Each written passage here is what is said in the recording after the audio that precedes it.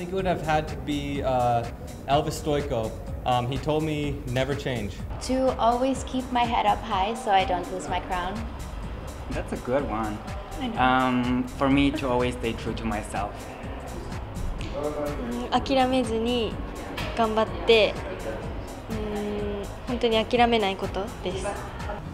Have no regrets.、Um, enjoy what you do, even if you do nothing. Just enjoy it. Never forgot uh, where you come from, who you are.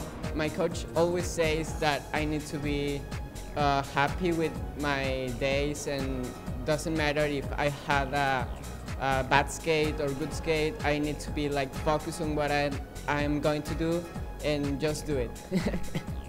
Honestly, be yourself. Like, I would say we're like pretty like humorous, like funny characters, and I think that really shows on the ice when we're skating together. So like being ourselves, are, I think it's really important.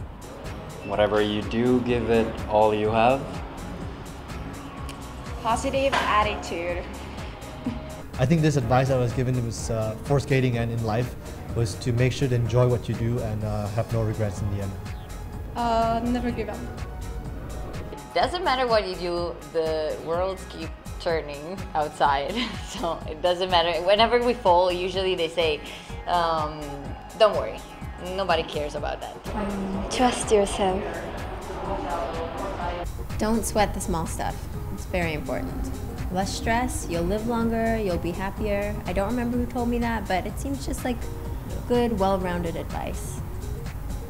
I've gotten this from numerous people, so I can't actually pinpoint one person who's told me, but pretty much just to enjoy every single moment and never take anything for granted. To never give up.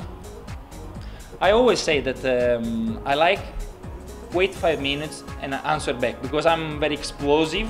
I always uh, pretend when somebody tell me something, maybe peace or whatever, like I always answer back. So I always count in my head, think about it, and and give the answer.